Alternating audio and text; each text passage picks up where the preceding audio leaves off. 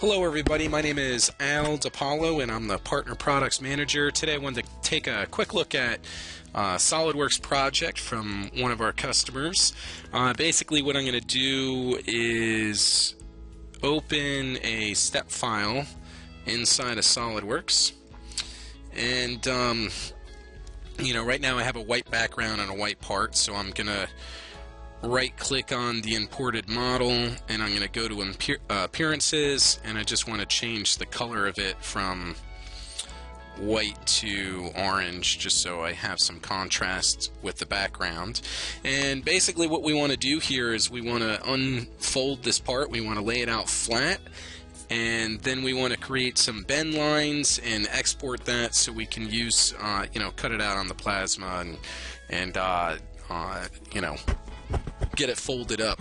So, um, now that we have the file open, if uh, you know within SolidWorks you have a number of different uh, tabs that you can utilize. In this example, we want to be on sheet metal. Uh, if you don't see this tab located on your screen, what you can do is go to Insert, Sheet Metal, and the first thing we want to do is convert this file to sheet metal. So we're going to do Convert to Sheet Metal.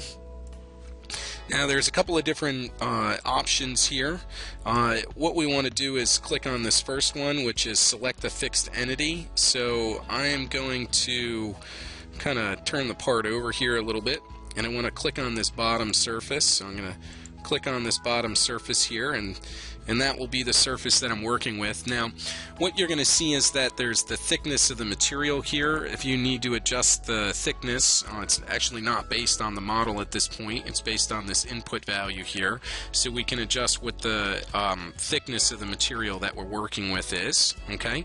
Uh, the next thing that we want to do is pick up our bend edges. Now you can do collect all bends and it's going to grab this uh, information for you or you can go through and pick up the edges that you want. Okay. Now in this example, I just collected all my bends. Um, there is some bend allowance uh, values. You have a bend table, bend calculation, bend allowance, bend deduction, or K factor. I'm using a K factor of 0.5. Uh, you can increase or decrease that as necessary. And uh, that's about it. We're going to go ahead and check this. And what that will do is convert this file uh, to a sheet metal file. Uh, the next thing that we want to do, you'll see flat pattern here. We're going to just uh, uh, expand this and then we're going to right click on it. You can see it's grayed out right now, so we want to right click on it. Uh, we are going to go to this button right here, which is unsuppress.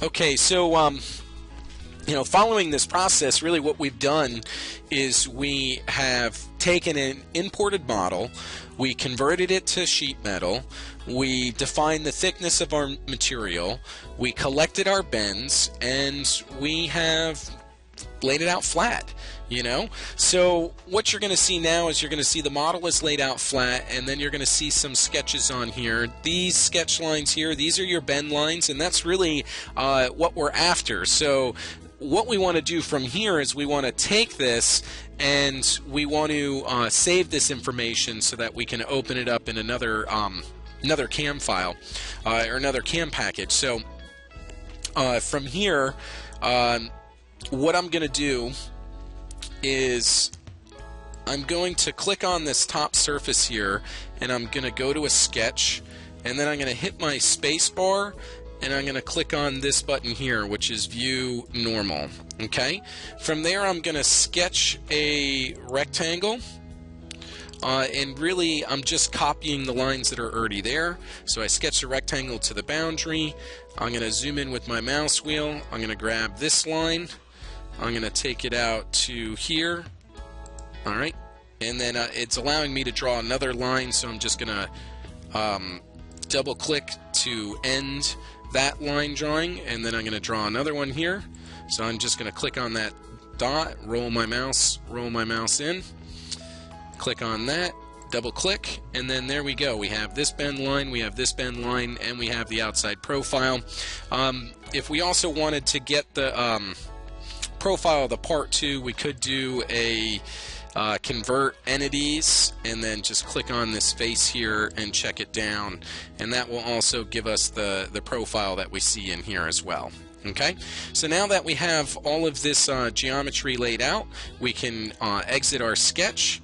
From there, we can go File, Save As, and we should be able to come down here to Save As uh, DXF is what we want. I'll just put it on my desktop, give it a name, save the file, and there we go.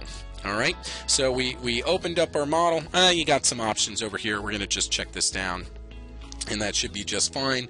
We'll also see a preview of what the file will look like so we can see our boundary and our bend lines and we'll go ahead and choose save and we're all set now okay um, so those are the steps that we could follow in order to take an imported model to uh, un uh, convert it to sheet metal unfold it lay it out flat uh, get our bend lines and save the file out as a DXF